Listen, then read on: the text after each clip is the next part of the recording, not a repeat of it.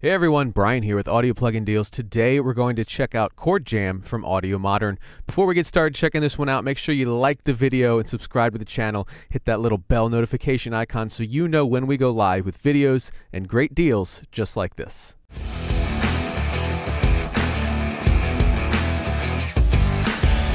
So today we're going to take a quick look at Chordjam. This is from Audiomodern. Um, it's kind of similar to their previous plugin Riffer, which we have covered. Now Chordjam is going to be a sort of automated chord helper tool so it can help you um, create progressions and you can load in progressions and it'll also help you with uh, voicing chords uh, in ways that you may have never thought.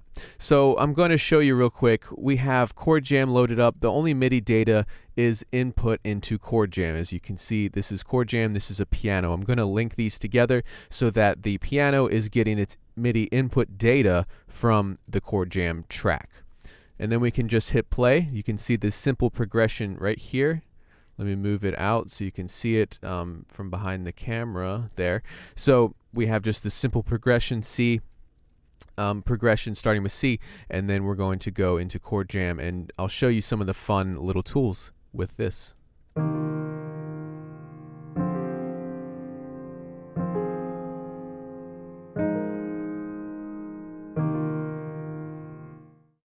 So already you see that we are creating chords from single MIDI notes. Now, if you want to use this just at its very basic, you can just select what type of uh, scale you want, major, minor, all these different kinds of scales. You can also just hit this random button, any of these random buttons, and it will totally change things.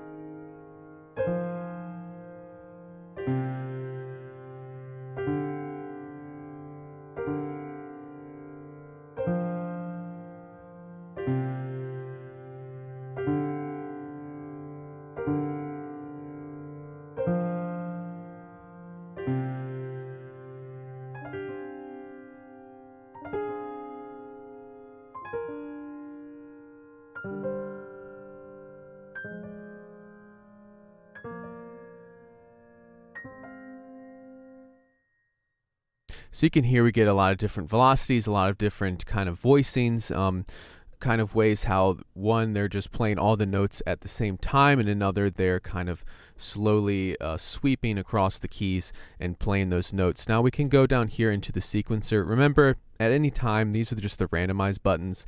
Uh, if you want to kind of quickly change things on the fly, just hit the randomize button.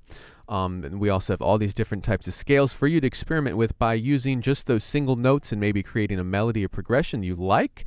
Um, and you want to slightly change things if you want to write in a different key and a different style. Very easy to do so just by clicking this. And you can also learn a lot about music theory that way. So we can go down to the sequencer and now we have a bunch of different sequences we can load up as well. Again, these are nice starting points, um, and you can also just set this to kind of loop in infinitely and constantly change things if you're playing live.